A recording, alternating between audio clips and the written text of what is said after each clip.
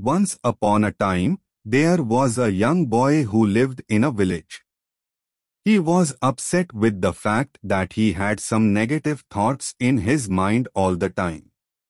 His mind is never calm. He either regrets thinking about his past, that I wish I had done this job like this, done that job like that. Or he is scared thinking about his future, that what will happen if this happens? What if I don't succeed? What if I make a mistake? Because of which people will start making fun of me. And many such negative thoughts, those thoughts full of failure, kept running in his mind all the time. He was always lost in thoughts and was scared from inside. Then someone told him that there is a Buddhist monk living under the jungle nearby. You go to him. He will definitely solve your mental problem.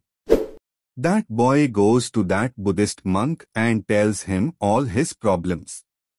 The Buddhist monk listens to that boy carefully and says, So what do you want to know from me? The boy said, Monk, I want to empty my mind. I want to know from you how to empty and clean the mind. The monk said, Emptying and cleaning the mind is not a matter of one or two days. It is a very long process. So are you ready for it? The boy said, Yes, monk.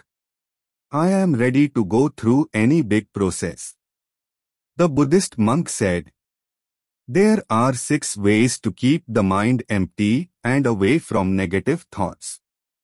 Come, let's understand them one by one.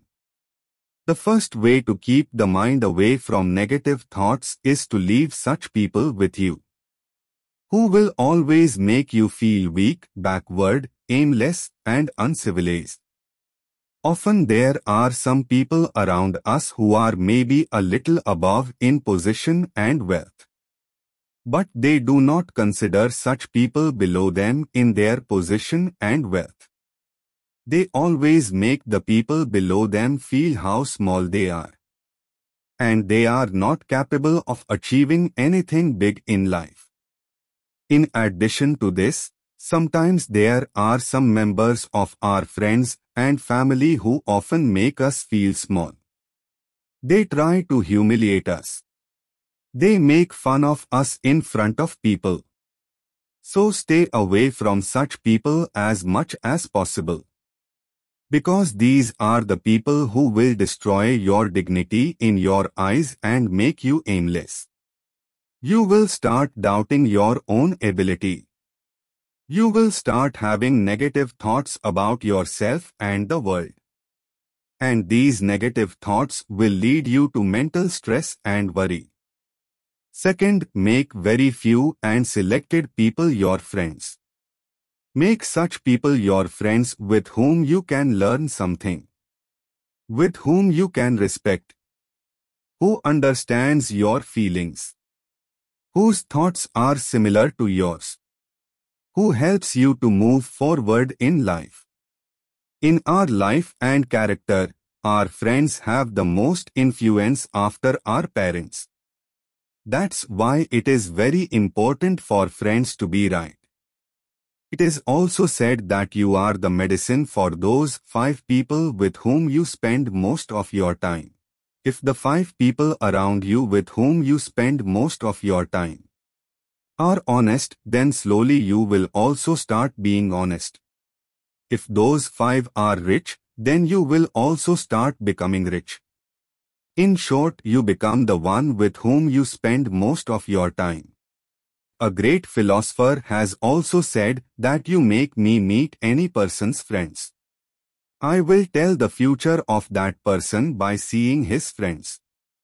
Our biggest problem is that we are not able to say no to people. We are not able to say no to such people whom we do not want in our life. And then even though we do not want, we spend our time with these negative people. That's why we have to say no to those people first of all. for whom we feel that if they are not in our life, then maybe we will be happier.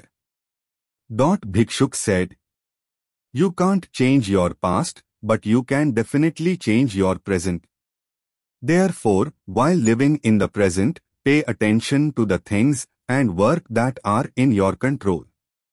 Which you can do today. Which you can change today. Always remember one thing. Only by living in the present, the future can be settled. So get used to living in the present. Buddha Bhikshuk said. Fourth, eat healthy and nutritious food. Our body runs on energy. And the way we eat, the same energy our body will get. And similarly, our body and mind will behave in the same way. If you eat food that does not have any vitality in it, such as meat, then it has a negative effect on your mental state. Also, if the body is not healthy, then our mind cannot be happy when the body is unhealthy and weak. Then there are many negative and inferior thoughts in the mind. It is also said that only a healthy body has a healthy mind. Therefore, it is our responsibility to keep the body healthy and strong. Buddha Bhikshuk further said, Fifth, meditate alone every day. Meditate with no one. Always do it alone. The best time to meditate is in the morning or before going to bed at night. But if you want to go deep into meditation easily, then the time of the night is the best. Meditating before going to bed at night also improves sleep. And you get deep sleep. To meditate, you can focus on your breathing. Or you can focus on the thoughts that arise in your mind. Meditating on the thoughts that arise in the mind is more beneficial for the meditator. Because it can be easier to go into deep meditation. If you cannot meditate, then spend some time alone with yourself every day. Try to know your own behavior. Try to see what kind of thoughts are arising in the mind. When you meditate for a long time or spend time alone with yourself, then you gradually start knowing yourself. You become calm. Your impatience decreases. You speak less. You pay more attention to the things around you. You remain more calm and stable. This increases your attraction to nature. You look different in the crowd of thousands. And the biggest thing is that by meditating, the intensity of thoughts in your mind decreases. This reduces the negative thoughts in your mind. Buddha Bhikshuka said, Sixth and last. Go to new places. There is a very old saying that a long journey gives you more knowledge than a hundred books. You must have seen that Buddha Bhikshuka continues to travel continuously for nine months of the year. One reason behind his travel is also that by going to new places, the mind feels new, due to which the mind is always full of excitement and energy. Try to go to places full of the beauty of nature. When you go to travel, then pay full attention to everything around you.